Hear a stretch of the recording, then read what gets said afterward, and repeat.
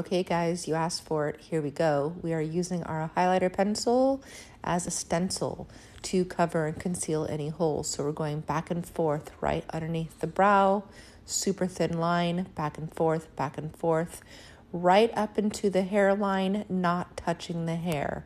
You can see in that little area I was just at, there's a little bit of a hole. So now we're taking our powder and we're pressing it right inside of that as our stencil. Back and forth, back and forth, right in that area. And it's hiding, concealing any holes. Now we're just brushing up in the front. Remember, less is more. Everything is buildable. This is the brown powder.